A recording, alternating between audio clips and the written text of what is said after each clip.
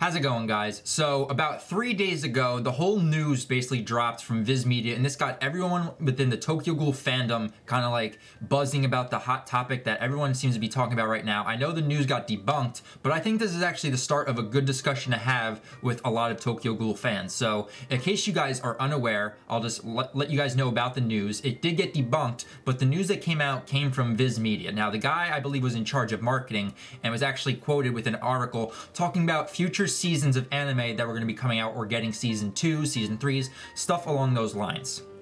So, what he mentioned within this article is that they were really looking forward to seeing One Punch Man season 2 come out. It's going to get, like, the manga's going to get very popular, and the show got very popular overall. But also, within that same article, he also name dropped Tokyo Ghoul, basically saying that a season, season 3 was on the way, which after a few hours, you know, it got debunked, basically saying that he actually meant to say Boku no Hero Academia, you know, getting a season two, and that's actually coming out either this month or at the end of the month. Now, I'm not even gonna get started on how the hell you can confuse Tokyo Ghoul with Boku no Hero Academia, and I, the reason I didn't make a video sooner on this is because the news got debunked and it didn't seem like a hot topic to cover. But I decided to actually switch it around a bit and actually just form a discussion around the idea of a Tokyo Ghoul Season 3.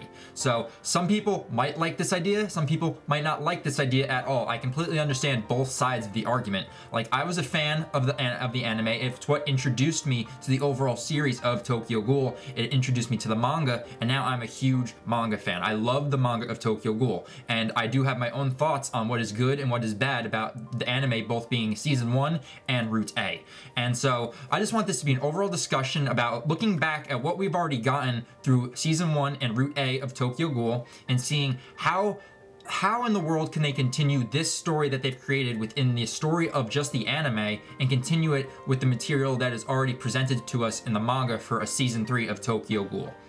So, looking back all the way at season one, season one was what got this hype train started for a lot of people. Season one was their entry point for getting to the series of Tokyo Ghoul, me included. So, my friend introduced me to Tokyo Ghoul, and the first season, though it's not perfect, it had a lot of good things going for it, and it followed pretty much the story of the first half of Tokyo Ghoul manga wise. They switched a few parts here and there. They did leave a lot of stuff out, but overall it followed the story pretty much to a T leading up to, you know, the middle point in the in the series to where, you know, Kaneki gets tortured by Jason and then ends up defeating him and it basically ended right there. That's basically the halfway point within the manga. So this series blew up and made a lot of people hyped for what was going to be coming if the season two ever happened. But what the series did, which I think was very nice too, is like it ended on such a hype note. It got everyone so excited that it made them go read the manga. Same thing goes for me. So I watched season one, episode 12 happened, and episode 12 is probably my favorite favorite episode out of all of the Tokyo Ghoul anime.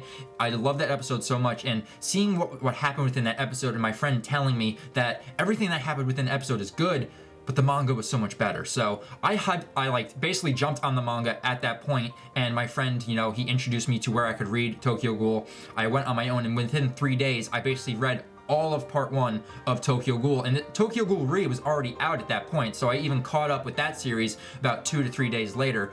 But I just overall enjoyed, you know, getting to read the manga, getting to see the differences, because I actually started all the way from the beginning. I went episodes 1 through 12, and then I actually went back to chapter 1 of the manga, and then got to read all the way up to where we basically saw uh, the series end, and then the, that's when the announcement came, you know, that Route A was going to be coming out, and I was really hyped. I mean, I did notice differences from the manga to the anime, but they weren't big differences where I was like, okay, I'm not too concerned. But then news came out that Route A was going to be coming out, and this was going to be an anime original. So now I already caught up with the manga. I knew what was going to be happening in the second half of the manga. I knew the material that was going to be happening, but then the news came out that this was going to be anime original. They weren't going to stick to the manga. So I was like, okay, so maybe this is to be a different story that they're to be doing. Hopefully it's to be a fun story. Oh man, Route A. Where to start with Route A? All right, first off, very disappointing. Route A was a very disappointing follow-up to what Season 1 brought to us for Tokyo Ghoul. A lot of the manga fans, including me, since I caught up with the overall series in between the time from Season 1 to Route A, I caught up all with the anime, or not the anime, all with the manga, and overall disappointed to see what we kind of got within there because supposedly it was going to be original story, anime only, and then stepping away and actually seeing how the series ended, the overall arc that the Route A did from beginning to end, it basically followed the overall story with just with one key decision made that changed slightly to make it anime original. And that was Kaneki, instead of going out and forming a group of ghouls to combat Aogiri Tree, he actually ended up joining Aogiri tree. Now, it was a very interesting concept, and a lot of people got hyped for that moment to see, like, okay, this, so this is the route the anime is going to be going in Route A. So it's like Route Aogiri or whatever. However you guys wanted to, like, delve into the title, how whatever its meaning were, and what the hell Route A even meant. But overall, looking at the overall series, it was very disappointing and lackluster. Like, it definitely felt rushed and overall unfaithful to the material because if they were going to say anime original, I wish they actually went all in on anime original stuff and didn't even talk about any of the events that happened within the manga because a lot of the stuff that they did end up doing just was the skeletal remains, the overall structure of the manga was there. It just took out all the meat and all of the hyped ass moments that happened within the manga because the manga had this for the second part to come up. They had Ayato's 103 Bones, you know, breaking in Kaneki's badassery. We also got to see Kaneki form a group of ghouls and actually have the Kano lab raid to where we found out that Rize is in fact alive and that Kano is still using her to make ghouls like Kaneki. Then we also had the whole events with Uta, flashback with Arima. We also had, you know, the revelations with Juzo. We had, um, we had the whole Anteiku raid arc, which was really good. And the worst thing that the anime could have done is what they they just basically teased us with. And that was the whole Kaneki versus Arima fight that was going to be happening at the end of the series because the manga, oh man, that stuff was hype, that stuff was awesome, and the overall fact that uh, was actually able to kill off Kaneki in the end was very bold and it was very brave for a person to do because part one ends on such a somber note. And be, I was really looking forward to seeing, after watching Route A happen, it was basically going to follow it to a T. And then we have, you know, Hide die in the anime, he carries him off, and we have this standoff between Kaneki and Arima, and nothing happens. And I'm sitting there like, what the fuck happened? Like, where the, where the fuck is the fight?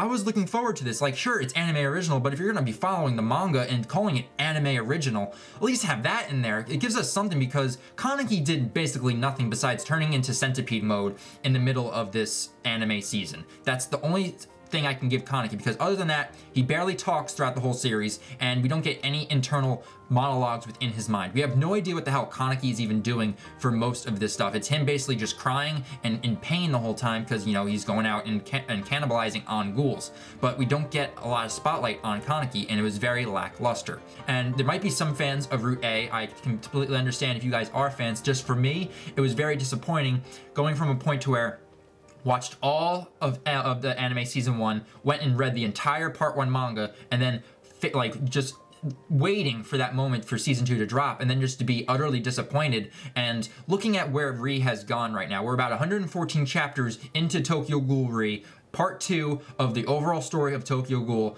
and there have just been amazing, amazing moments. And I can't really see how they could continue the anime with just how much they've taken out, how much it's not been like unfaithful to the overall story. I mean, I, I could see ways that they could possibly take the storyline from Route A and continue it into Re, and judging by that end credit scene that they had with Toka opening up Re, that seems to be what they're planning, but there's no news yet of a Tokyo Ghoul Season 3, and in my opinion, I actually don't want a Tokyo Season 3 yet. Now, key phrase right there is yet, and hear me out here, because I think a lot of people would agree that a reboot of the overall series would be really, really cool to have. This would be like a Brotherhood type situation for Full Metal Alchemist, where you basically reboot the entire series. I don't care if you actually get the same voice actors back from the subbed version or like whatever. That could be very nice to see and just keep the song of unravel. That would be cool too but rebooting the series i think would be much very much needed for this series because if you think about it there's so much foreshadowing and so much hidden meanings within each chapter of the manga that leads into future stuff that happens down the road. The foreshadowing and the, all the events that lead into one another, it definitely affects all of the decisions and all of the characters in different ways. And if they were able to reboot the series, I think this would be a much more faithful adaptation and a lot more people would be okay with them. Like, let's say if they did announce that instead of doing a season three, we reboot the series, we follow faithfully with the material that is presented to us in the Tokyo Ghoul manga in part one, we go all the way through part one again, and then that would actually get a lot of people more faith in the anime material, and it would give a lot more people faith in the fact that if they were to do a season three, they have much better material leading up to it, to where season three could be absolutely amazing, and where Tokyo Ghoul Re could be finally be adapted, because I really, really want to see Tokyo Ghoul Re adapted into a series because there's so many good moments to where you have Haise's meltdown in the early parts of the chapters where he's learning about, you know, that he is in fact Kaneki. The whole thing with the auction raid, the Tsukiyama raid arc, and also the Cochlea raid. There's so many good good arcs within Tokyo Ghoul Re, and there's so many good character moments within the series as well, and also the new characters that get introduced. So uh, these are my thoughts right now on a season three possibility for Tokyo Ghoul. And uh, basically, in a nutshell, I do not want a season three yet. I want to have a reboot. And if a reboot were to happen, I think that would make a lot of people happy. And I think that would put a lot more people at ease knowing that there's going to actually be a faithful adaptation to the material that we've come to know and love. So I actually want to hear from you guys because I actually want this to be a discussion. Like in the comments below, give me your thoughts on this overall discussion of a season three of Tokyo Ghoul. Now, I'm a big fan of Tokyo Ghoul and odds are you guys are too if you guys are definitely reading the manga and you guys know about all of the hyped moments that come about after part one of Tokyo Ghoul. Tokyo Ghoul Re has a lot of good, satisfying moments that happen within it. So in the comments down below, give me your thoughts on what you guys think. Do you guys want a Tokyo Ghoul season three?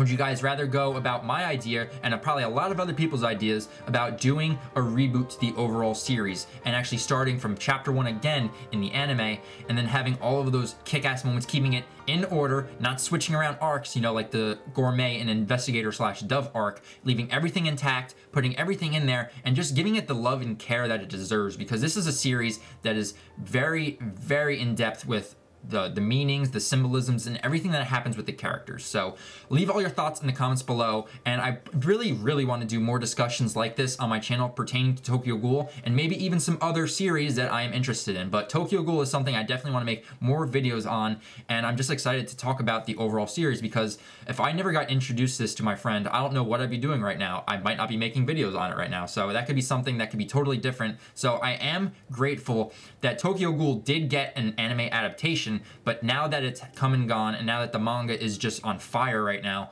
a reboot I think would be really, really well needed right now, and I just want to get the discussion started. So again, leave your thoughts down below. Subscribe to my channel, guys, if you guys are interested in Tokyo Ghoul and just want to have overall thoughts and discussions on the topic of Tokyo Ghoul stuff, whether it be characters, moments, anything happening concerning the anime for that matter, just subscribe to my channel and we can get the conversation started down in the comments below and leave a like on any of these videos if you guys find what I'm talking about interesting or something you guys would like me to talk about even more of in later videos. So that's it for this video, guys, and I'm really looking forward to actually the latest chapter coming out, I believe tomorrow, chapter 115, because, oh boy, last chapter was intense, and I just want to thank you guys again for watching my live reaction and discussion on Mutsuki and her overall relationship with Haise. So, end of this video, guys. I'll see you guys in my live reaction and overall discussion of the latest chapter to come out, and until then, I'll talk with you guys then. Alright guys, see you later.